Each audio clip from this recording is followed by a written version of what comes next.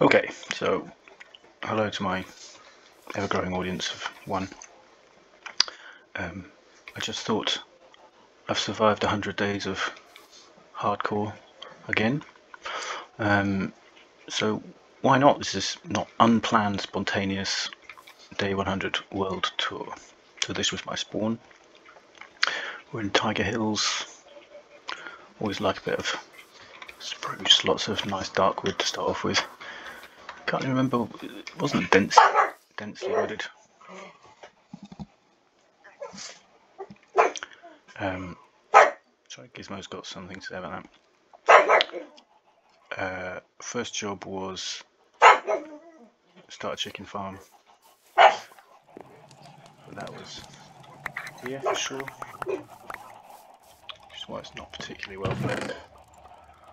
I'm building up a collection of eggs to the, uh, the end when I destroy the wither the easy way and uh, get a load of wither roses, but that's another story. Uh, so uh, I did my usual thing. Built up from chickens to get food and feathers so that once we get a bow we've got a good supply of arrows. So chicken farm's always top priority. Then I'm thinking where am I going to get some cows from? Well actually before cows we need to start a wheat farm. So I actually started, if you can see in that corner, uh, just next to some water, quick and easy. Started planting some seeds there so that we get wheat as soon as possible to be able to attract some cows to my death trap um, of a cow farm. Um, I fairly early realised I had quite a good spawn because um, I've got different types of trees. I've got dark oak, not very far over there. I've got some birch. I like to have birch for my lighter coloured gates to make them nice and visible. Um, so my early days were just running backwards and forwards up here, clearing out all the trees, farming this corner, building up my chickens, and as soon as I, and also of course on the end of the first day of daylight, start a mine. So I dug, dug down as always.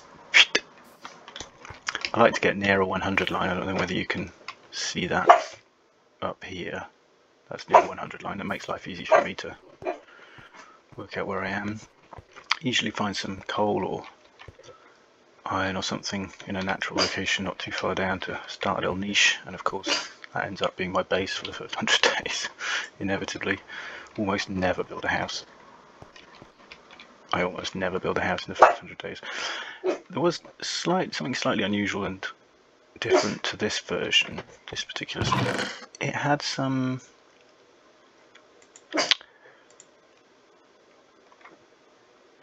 jungle biome, not far off. I picked up some bamboo very early in the game, which is unusual It can be a real struggle to find bamboo to make scaffolding, but of course I haven't used it.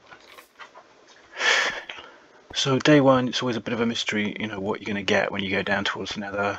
Uh, this was a lucky one. See that? Nothing, nothing there. Actually, the first, one of the first things I did was dig down. There were some resources down there. And I came upon this uh, chasm, um, ravine, underground ravine, and immediately I could see the telltale spiderweb indication of a spider spawner down there. So I knew I was going to have at least one easy to make uh, XP farm. Um, and I do like spiders because they produce a load of string, which you can, uh, when you first get your first villager, the Fletcher loves a bit of string. So needless to say, this didn't like evolve all that naturally, I realised I wanted to get down where that spawner was, so I started digging down this way, and it was a real faff. I could hear a load of spiders. I couldn't work out where they were. Well, it turned out one of them. It's difficult to see. You can see it's like looking around to try and find where they were. And then I stumbled upon a corridor.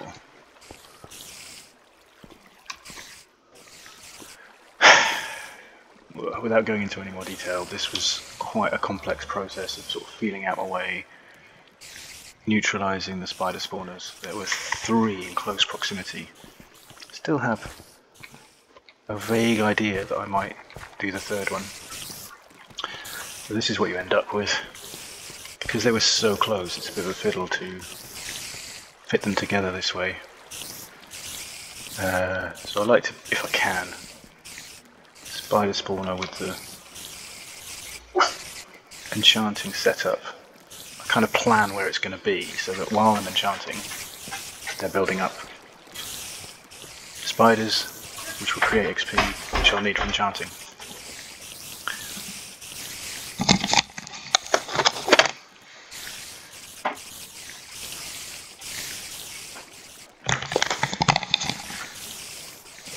So, um, this isn't pretty, but it's functional, and it got me a full set of, do what I say, it's God kit. Oh, pretty much everything now that I wanted. Mending's the big one that you have to get your villagers for, but before you're going to go do the dragon, you're going to be wanting to get some half decent uh, equipment. That involves getting diamonds, which in my personal methodology is digging along the 50 lines, nice and straight in a grid, and each each okay, I don't know if you can see that here that targeted block is 100 150 so where there is a uh, crafting table in the floor there it's going to be an intersection of 250 lines 50, 100, 100, 100, etc. So I won't go into the long and boring story of how I ended up with a load of diamonds. We've all done it. But that was that. Um, that about does it for my underground section. Oh, it was a bit difficult to fit my potion setup. Normally I like to have my potion set up right next to my enchanting table it was the same. Um, water bottles in there. Nice and simple. Click that button, that'll drop some nether wart into the hopper. I don't automate individual ingredients. I do automate that one up there, will drop in a bit of redstone dust. That's prepared for going to the outer islands. There we go, that is my setup. I do occasionally get poison effect from being bitten by one of these spiders. I realise it's a bit noisy. I should have turned down... I turned down friendly creatures. I should have turned down hostile creatures just for the video, shouldn't I? Sorry about that. Now that it's too late. I'm learning. So that's my underground setup. Pretty much all there is to it, to be honest. I was lucky because uh, uh, multiple spider spawners in close proximity to the starting point. So it takes me about took me about 50 days to get. I always have my grid of four wheat farms. Pigs came very late on. I just recently went and picked up some pigs because they're good for. Once I get to a certain point, it's always a decision whether to go and kill the dragon and then come back and start with villages or do villages I, when I say do villages, I set up traps like this one. And when a zombie villager wanders by, which can be frustratingly uh, irregular, infrequent occurrence, but once one once you get one, and uh, in this particular world, my first one was a baby, baby zombie villager, and I trapped him spontaneously. I didn't have a trap prepared down here and for quite a while, the whole process of setting up my cow grinder, which I'll just quickly go through now, uh, I could hear the little blighter grumbling away in his little trap down there. I was lucky because I because I bottomed out a um, those mine shafts. I had a couple of name tags, so I was able to name him. He didn't have to be carrying something, which is the only other way that he's going to not despawn. The cow spawner, I've done a video on this, I think, you know, but, you know, it's my standard procedure to get a load of books, a load of leather to make books. This is something I do after I've, these were for cows to start with. I convert it into a sheep farm once I've got a butcher who loves giving me emeralds in exchange for mutton more than for some other things for some reason. It's good value mutton. Um,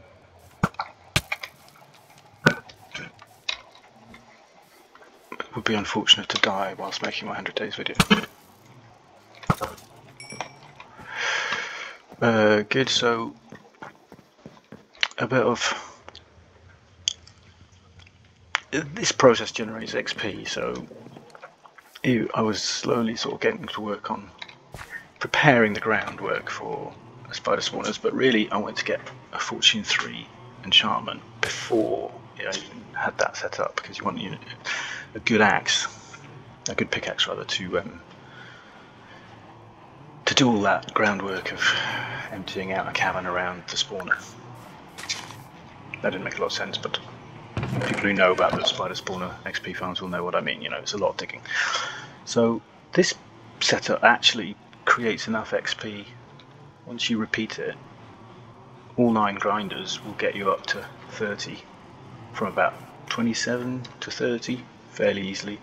So a combination of that and XP from uh, smelting iron, you know, in my experience, just the process of doing all the jobs that need doing produces enough XP to get up to around 30 pretty frequently, so I end up with a sort of far from perfect, far from God level set of diamond armor and tools. Obviously none of this building was here at that point. For a long time this was the, the limit of my domain. Uh, obviously I'm going to be setting up a uh, a sugarcane farm early on in any game because that's an essential part of making paper to make books to make your enchanting to make book uh, cases to make your enchanting setup. So that's the whole process of the first sort of 30 days or so. It's just getting an enchanting setup that works. And in the process of that, you end up with a load of resources. So I guess I'm participating again.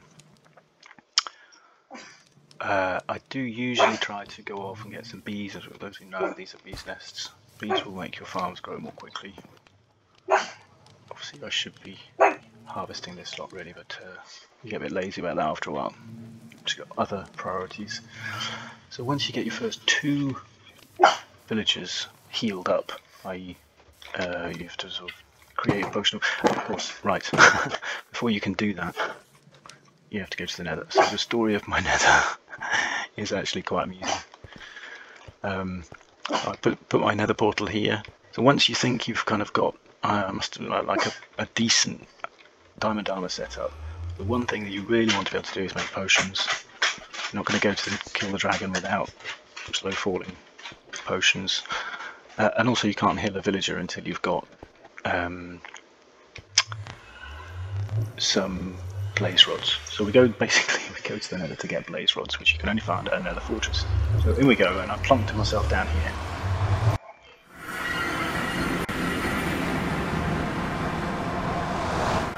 And this is what I got, but in fact I was just on this with none of the grey bit around me. Suspended 70 blocks above a huge lava ocean. So big, I've come out here without any fire protection, which is unwise. So big, you know, I couldn't even hardly see the nearest landmass. So I bridged out across here to get to this Netherwaste island. Netherwaste is safer than some areas. And I was lucky, so I got a load of gold. Came up here and there was one actual, whatever they're called, piglin, who would trade with me. So I locked him in a hole. as you do. I did all my trading with him down here, and he gave me four potions of fire resistance. And once you've got some potions of fire resistance, you can afford to go looking for. You got some insurance against something which did actually happen, i.e., falling in the lava lake. So that did happen, and I was able to take it. It's only a three-minute potion, but it was enough to. I can't remember where it was. I ended up in the lava. So then it's difficult to go looking for.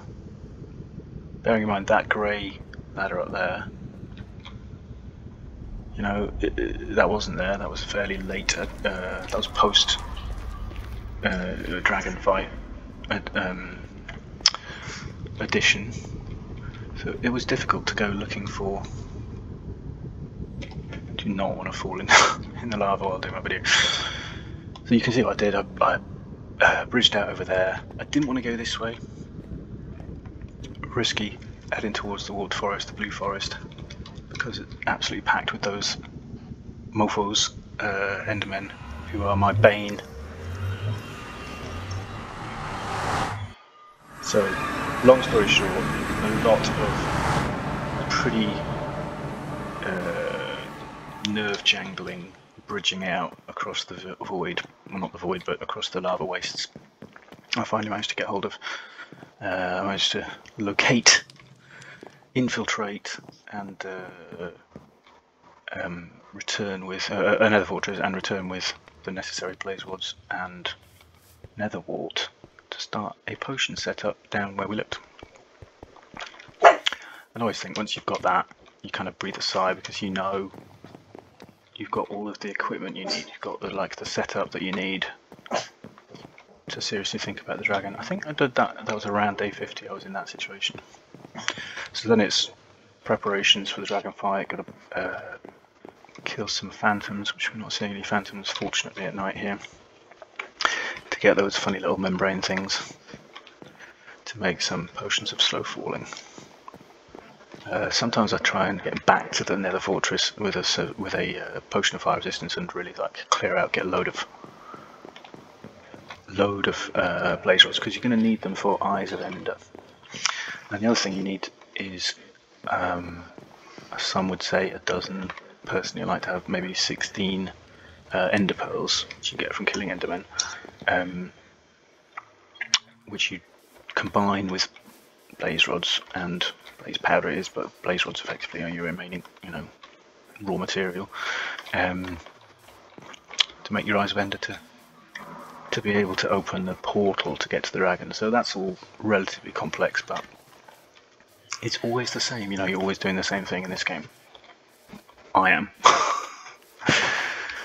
um, so once you've got your ender pearls, eyes of ender, you can throw them. Throw them up in the air and they tell you which way the stronghold is and off you go. Stronghold was a mishmash, big mess. I'm not going to take you over there, but it was a real mess. Um, because it spawned in the middle of a, not a ravine, but I guess, yeah, maybe it is a ravine, an underground ravine, but it makes the, like, the broken staircases, and it was really I could not find the uh, the chamber where the end portal is. And eventually, I was I stood on top of a seemed like a, a brick floor, hearing the bubbling of um, lava, and I suddenly realised, well, I haven't been there, so I broke through and I was standing on the ceiling of it the whole time. So, killing the dragon, a little bit fraught every time. It's quite stressful, but in theory, you do everything according to the, the playbook. You should be okay. Um, and then you get back with your bundle of 70 odd XP. Use that to uh, finish off some work with your set of armor that you've been building up. And then it was time to think about the villagers, so uh, I set up this so I started off kind of here with an empty space over there, thinking, right, what am I going to do? So I decided it would be these two kind of barrack buildings. On my first two uh, cured villagers and separate them off, and then breed a couple of uncured uh, villagers, so to speak, natural, normal villagers and then during the night it's dead easy to just break the bed and force them to come over and find a bed where you want them. So it's easy to get your purchases where you want them nowadays, I think. That would be a separate video. Um, Mr. Fletcher, I called him Mitochondrial Eve just with a name tag because it was yeah, I needed something. Little because that was he was the baby baby zombie villager. There's another one who's got a name tag who I just sort of third time lucky, yeah. So he was just like a bonus villager who happened to stumble into my web. And then again, you know, it's the process of getting mending. It's all you're interested in is mending. So Mr. Fletcher gives you a load of uh, emeralds in exchange for some sticks, which is quite nice of him, and specifically string. You know, look at that, eight string. He's going to give you because you're you've got more string than you know what to do with. Twice a day, he'll give you 16 emeralds and a bunch of XP for that. So suddenly you're like getting a load of XP, getting a load of emeralds.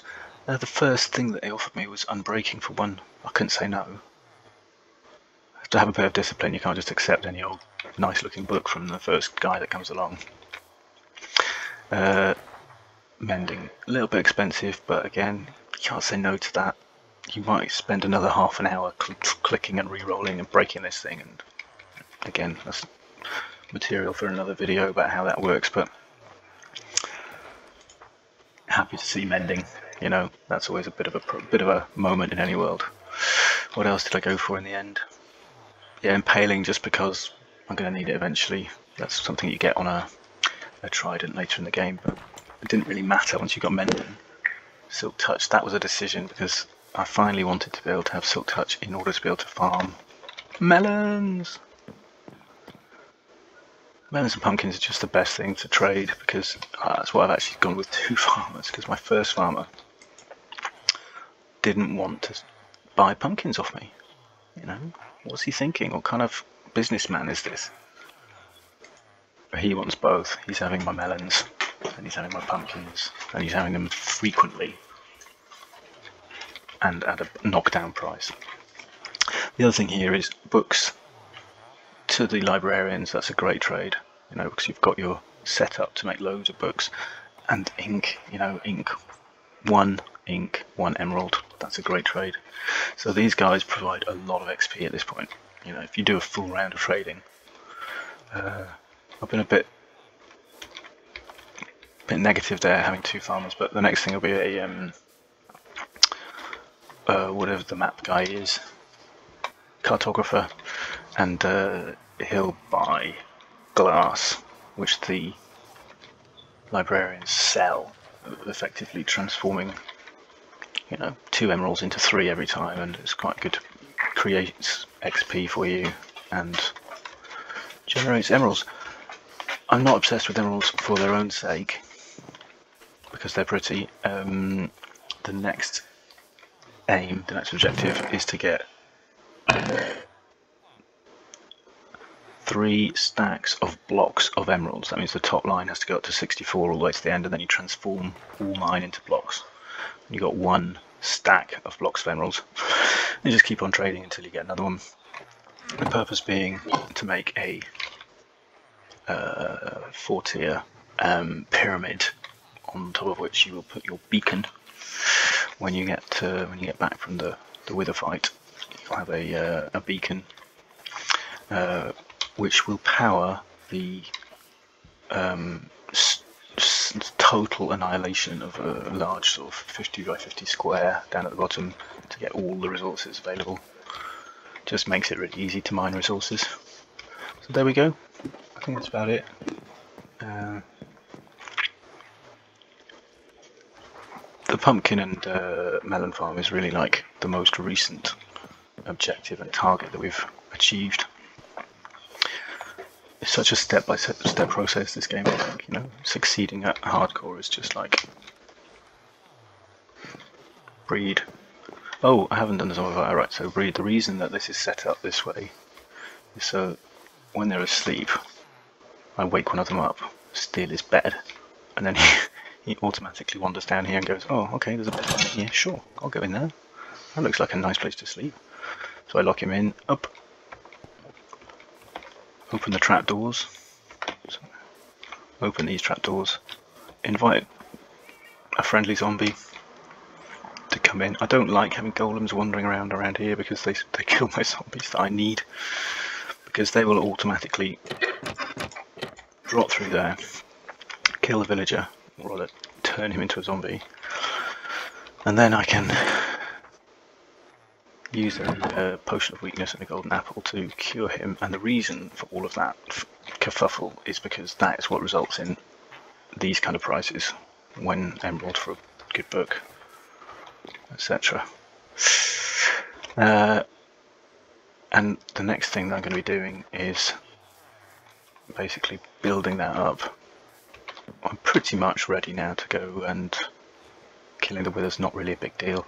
What I need is and one more nether skull, uh, wither skull. In order to summon the wither, you need these little guys, little little cubes, cube head of a wither skeleton. Um, bit of a pain to get hold of. I have at different times made farms to make it easier, but in actual fact, the easiest thing is just to go down there, plenty of fire resistant potions, just wander around, keep killing them till you get your, your skulls really. You get quite a bit of XP for that, and usually loads of blaze rods. So a lot of times, you know, there's a lot made of all the automated farms and clever ways to uh, work the system work the game to your advantage, but a lot of times you just play the game and you get what you need. So there we go, day 100, kept this just under half an hour. I'm sure it's just a rambling mishmash of nonsense, but uh, it's kind of fun to keep a record. There we go, say goodbye to my golem. I'll see you in day 200.